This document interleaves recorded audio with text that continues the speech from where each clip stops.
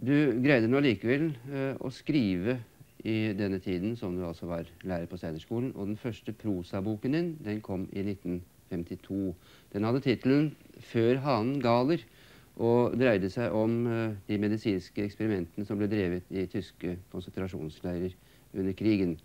Uh, man kan vel kanskje i en større sammenheng si at boken dreide seg om den klassiske konflikten mellom moral og vitenskap. Ja, naturligvis.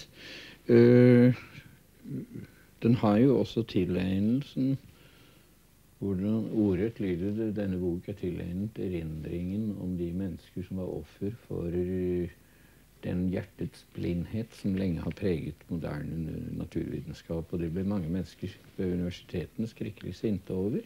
Men det var én ung mann i Norge som forsvarte meg. En helt ukjent ung litteraturstudent som het Bekt Jensen. Mm.